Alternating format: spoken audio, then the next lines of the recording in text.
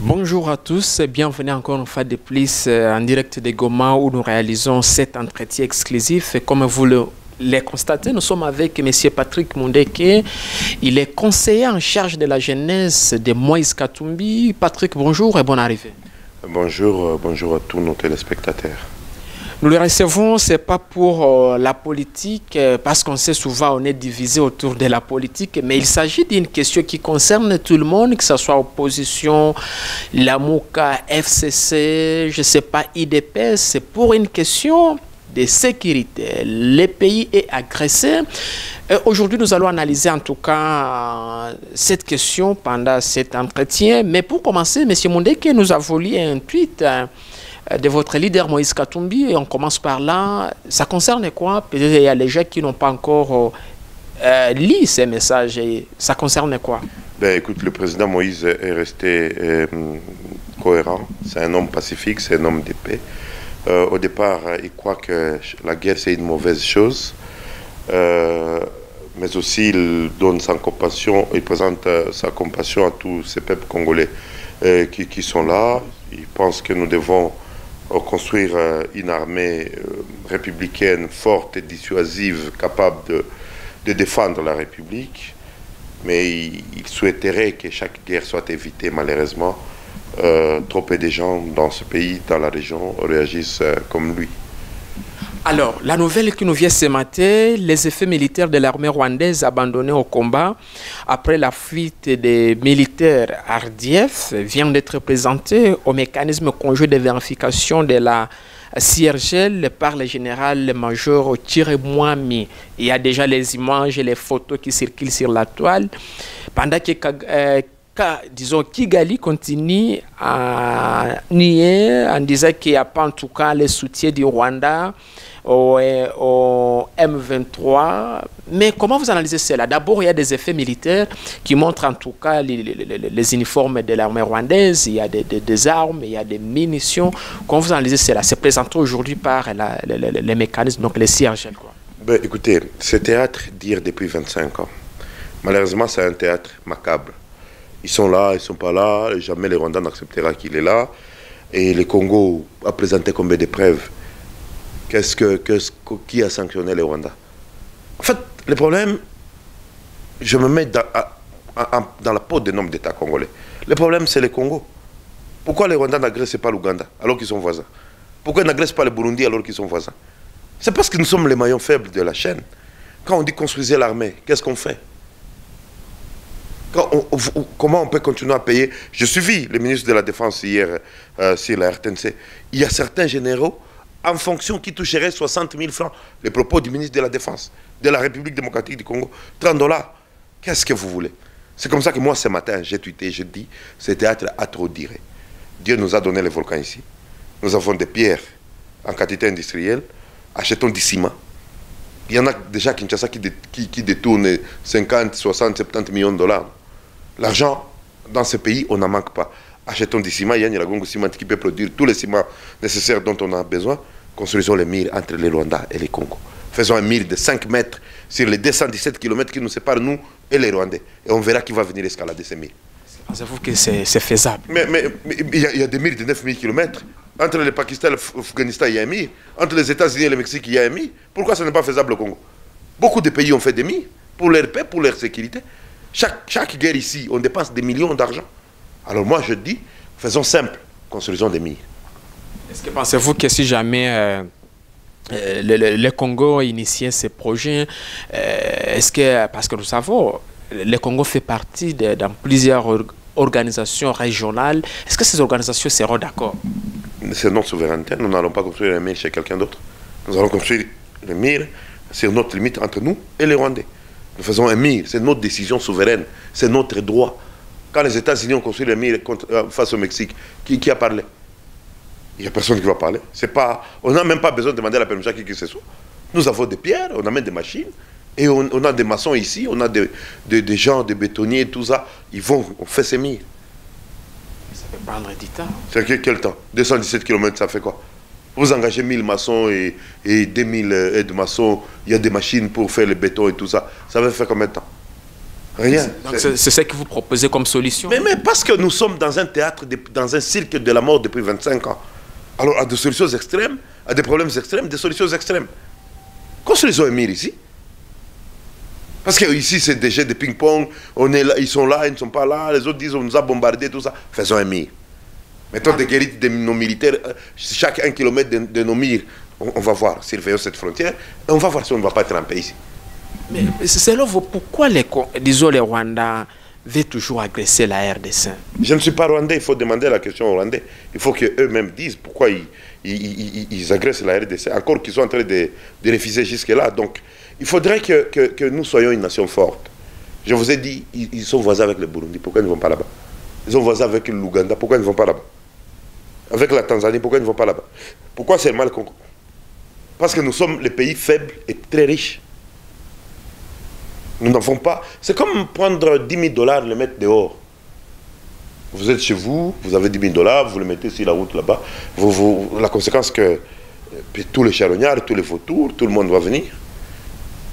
Aujourd'hui, les Congolais, euh, à cause de la politique, euh, le, le- le peuple congolais aussi rwandais se sentent être divisés à cause de, la politique et de certains politiciens.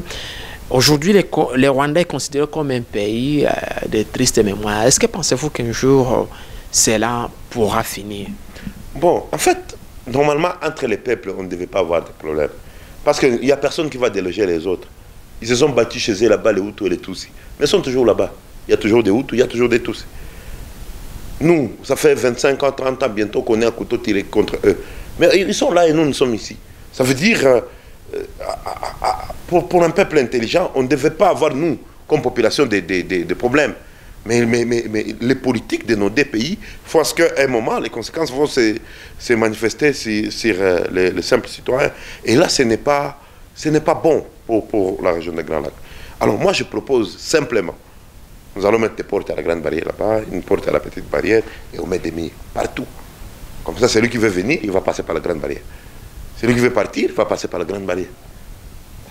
Revenons sur cette question-là des, effets militaires rwandais euh, présentés aujourd'hui au CIRGL. Mais on sait que plusieurs années, cette organisation existe. S'il faut dire, euh, sur les images, on voit parfois ils organisent des descentes après les attaques et après, il n'y a pas une solution. Qu'est-ce qu'il faut concrètement? Est-ce que vous voyez l'impact visible de cette organisation sur le terrain Non, mais en fait, les, les- les guerres de l'Est du Congo, c'est l'échec de la MONUSCO, l'échec de la CIRGL, l'échec de l'Union africaine, bref, l'échec de la communauté internationale en général. Ils sont là, c'est bon, écoutez, c'est pas la première fois que les Rwandais, le Congo présente des preuves, ce n'est pas la première fois que. des preuves irréfutables. Mais, mais qu'est-ce qui qu'est-ce qui s'ensuit Rien. Alors, ce qui est important, moi j'estime, à ce stade ici, c'est que nous, nous, contrôlions nos frontières. Parce que construire une armée, ça nous prend 25 ans pour le faire. Parce que euh, équiper notre armée de- de- des armes nécessaires et des munitions, ça nous prend 25 ans pour le faire. Parce que payer bien nos militaires, ça nous prend 25 ans pour le faire. Ok, laissons d'abord cet aspect-là. Faisons un mille. Un mille, c'est des pierres. Les pierres, nous les avons. Dieu nous a rajouté même d'autres pierres ici. Nous les avons. Pour faire 217 km, on va décaper tout, ce- tout ce que le volcan a mis ici. Et puis, euh, c'est tout. Les murs, nous les avons. Euh, Les, les pierres, nous les avons. Les sables, nous l'avons. Et puis, on va faire ces mines. Euh, Vous estimez que les, les- les- si réellement ces rebelles viennent de, de- de l'extérieur, ne pourront plus, euh, s'il faut dire, sauter ou bien venir euh, au Congo Mais qui va escalader un mur de 5 mètres? Et puis, c'est chaque 1 km, vous mettez des positions militaires. Qui va escalader ça? Vous mettez des guérites carrément, des guérites au-dessus, c'est chaque 1 km. Il y a deux militaires, des militaires, des militaires. Tu vas faire comment pour venir? Et puis, tu vas, faire, tu vas déplacer tes armes comment? 5 mètres, c'est pas petit. C'est énorme. C'est une solution fiable, réelle, durable. Faites, faisons un mur. Revenons sur ces propos qui suscitent des vives polémiques sur la toile. On a suivi la déclaration du général Abavan, le commandant divisionnaire adjoint le commissionnaire voilà, du Nord Kivu. Lui, il a appelé à une guerre populaire parce qu'il est à Goma, il maîtrise la situation, il sait comment ça se passe, les enjeux. Mais du coup, à Kinshasa, il y a le porte-parole du gouvernement nation. Donc, le gouvernement congolais, Mouyaya, qui a contredit et il a condamné ses propos. C'est quoi votre analyse? Ce pays ne sera qu'un pays quand les institutions vont aller dans le sens de se compléter que de se combattre. Il y a des combats entre le Sénat et le Parlement, il y a des combats entre la présidence de la République et la Cour constitutionnelle, il y a des combats entre le gouvernement et ses militaires. Ça fait désordre dans un pays. Et si ces gens-là qui dirigent aujourd'hui la République ne comprennent pas ça, alors ce pays n'a pas tout simplement de chance. Euh, ce que euh, le général Van a dit, il a dit, euh,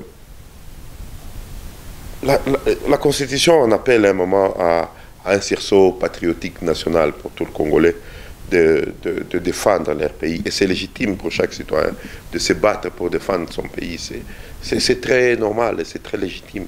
Et que donc, euh, moi, à mon niveau, euh, je pense que tant que ce n'est pas de- de guerre civile, tant que c'est pour défendre l'intégrité de la République démocratique du Congo, ben, écoutez, tous les moyens sont bons. Vous partagez les mêmes avis que le général Je pense qu'il s'est exprimé sur base de ce qu'il vit. Il s'est exprimé sur base de, de la réalité que lui euh, a trouvée sur terrain. Et que donc, euh, comme en Ukraine, euh, comme, euh, comme en Afghanistan et un peu partout, quand les nations sont, sont, sont attaquées, on, appelle même la constitution de la République démocratique du Congo, euh, en parle, je crois, son article 63, et qu'on peut même faire imposer un service militaire obligatoire à tout le monde. Donc, moi et vous, on peut nous enrôler des forces dans l'armée pour défendre la, République.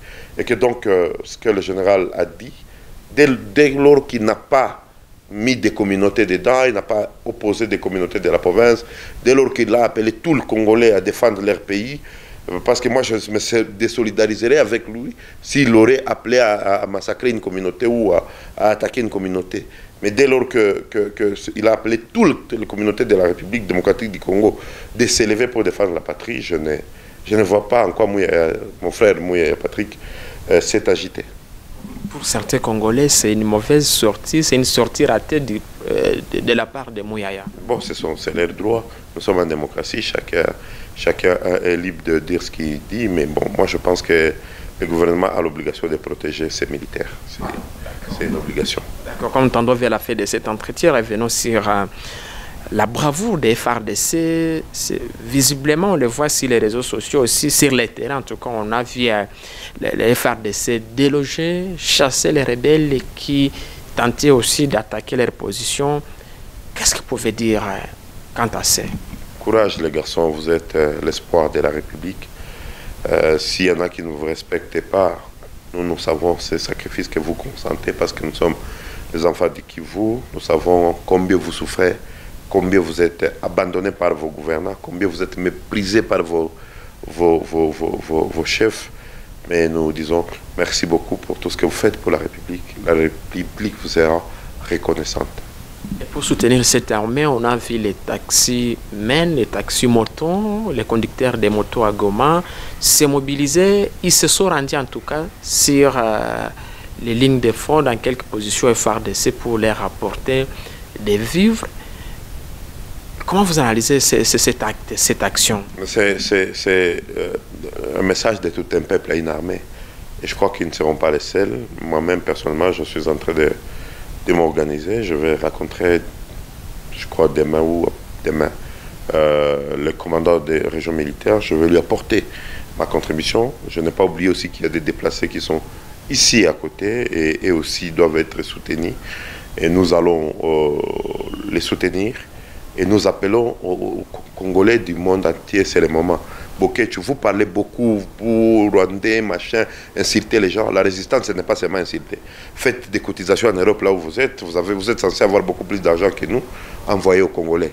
Envoyez à- aux forces armées de la République qui sont en train de se battre au fond et qui se comportent très bien. Nous serons contents de recevoir 100 000 euros des combattants de, de Bruxelles, de Paris, de Londres pour nos forces armées en termes de vivres et de biens.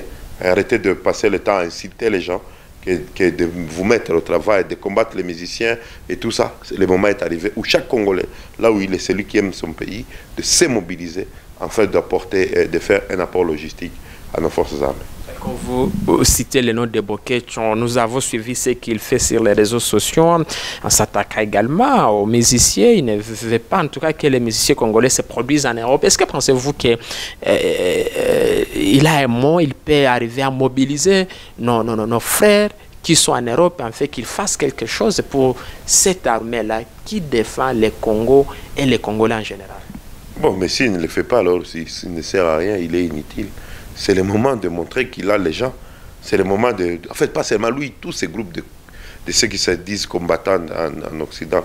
C'est le moment de vous mobiliser, de nous apporter, d'apporter aux forces armées un, soutien logistique important dont ils ont besoin. Il y a des gens ici, achetez les haricots, achetez les riz, achetez de l'eau, achetez tout ce qu'il faut. Allez amener aux forces armées. Mobilisez-vous. Nous devons savoir la diaspora congolaise a amené combien sur le flot qui vient de se déclencher à l'est de la République aujourd'hui. Peut-être l'avant-dernière question, M. Mondek. Nous, nous avons suivi la déclaration de la société civile ainsi que des mouvements citoyens qui demandent au chef de l'État de lever l'état de siège et passer directement dans un état de guerre, c'est-à-dire déclarer la guerre au Rwanda parce qu'on sait, on connaît déjà les pays qui nous agressent. C'est quoi votre point de vue? Ça ne suffit pas de déclarer la guerre. Il faut être sûr de, de la gagner.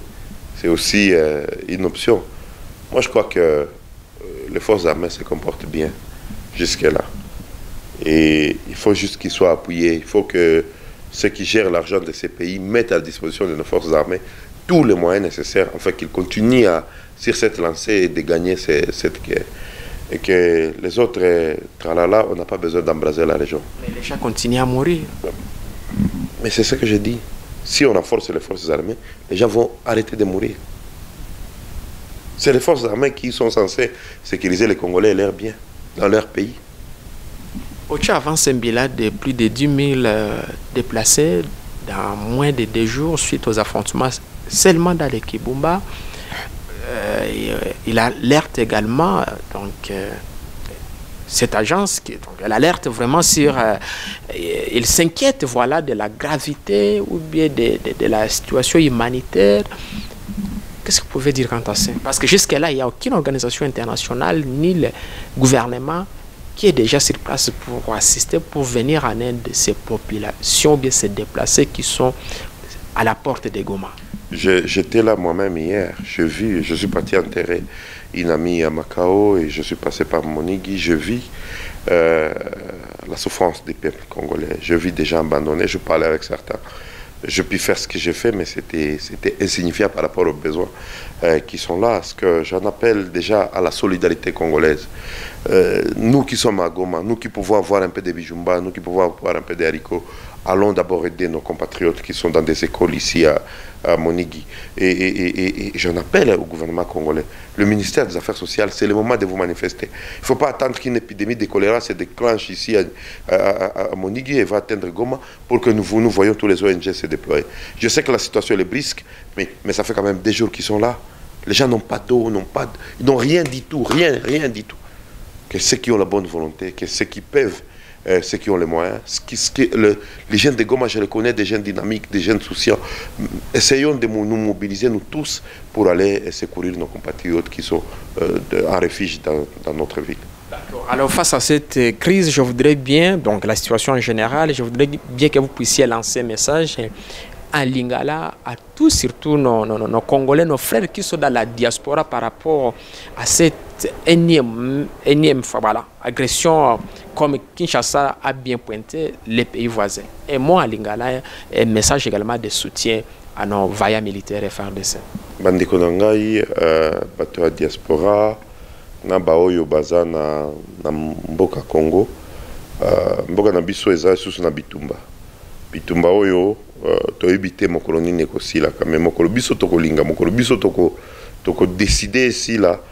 ekosila. Tosengi na bino mutu nyonso oyo aza na makoki ya kozwa 10 dollars 20 dollars 100 dollars 50 dollars.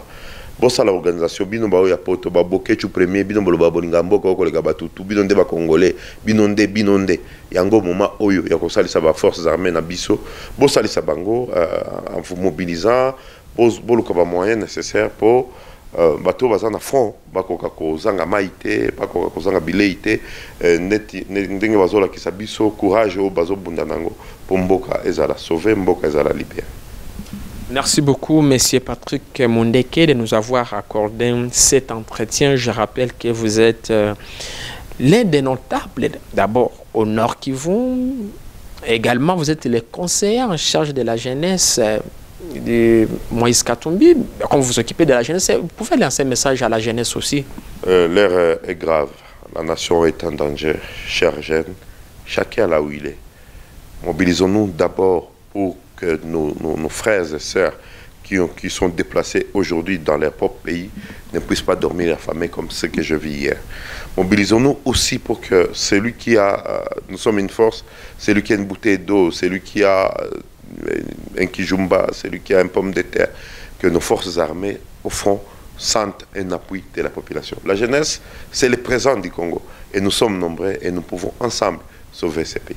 Pensez-vous que euh, certains jeunes, c'est important maintenant de s'enrôler dans les FARDC Mais ça a toujours été important d'avoir des jeunes intelligents, braves euh, dans les FARDC. Il y a les faux qui est là, qu'est-ce qui se sentent appelés à faire euh, les forces armées. Et Je les encourage vivement aller rejoindre nos forces armées afin que notre pays demain soit respecté dans, dans, dans la région et en Afrique.